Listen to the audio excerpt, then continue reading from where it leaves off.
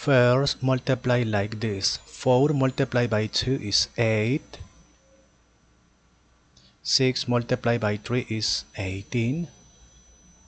6 multiplied by 4 is 24.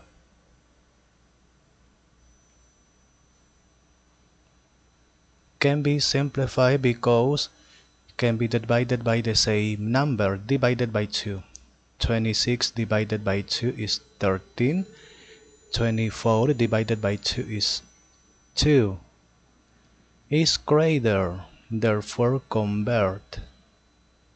The same number 12 multiplied by which number is nearest to 13 but not greater. 12 multiplied by 2 is 24 is greater.